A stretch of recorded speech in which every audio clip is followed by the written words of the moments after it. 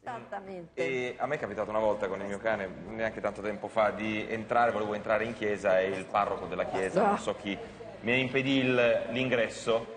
E, Adesso no. mm, forse perché non era Don Primo Poggi. Don Primo Poggi ve lo facciamo conoscere, un prete straordinario che ogni giorno recita messa insieme ai suoi tanti amici. Abbiamo mandato in spedizione Maria Elena Fabi e Gabriella Morandi.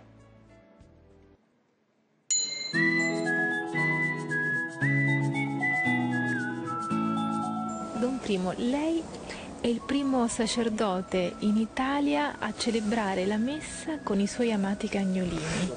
Sono convinto che alla messa devono partecipare tutti gli esseri viventi, eh, gli esseri viventi dall'animale all'uomo, perché ogni, ogni essere vivente è un partito di amore di Dio.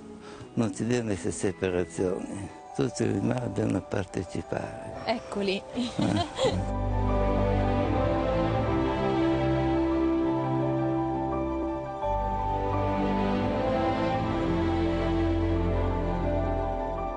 Durante la messa ho visto che sono di una tranquillità, una serenità veramente fantastici dei suoi figli. Sì, sì, sì, Ma vivono con lei?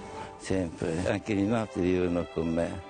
Ah, dormite tutti nella stessa stanza. Tutte nella stessa stanza. Di giorno dormono sul letto, di notte vado a dormire io e loro vanno a dormire. Su- sulla poltrona. No, quindi- sì. Qui c'è è dedicato a San Francesco, no? Sì. Io sono cresciuto con Francesco, vengo da un ambiente contadino, ma con Francesco ho imparato un grande amore per gli animali.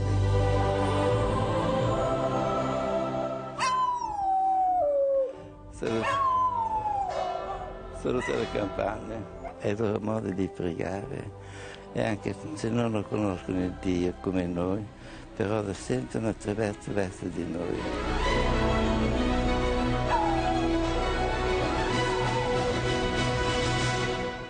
Sempre con Don Primo, non lo lasciano mai, S- lo seguono dove- dappertutto, dove, dove lui va, per tutta la giornata, si amano, si amano per davvero, Ma è una cosa stupenda perché eh, non hanno la parola, però è come, come se l'avessero.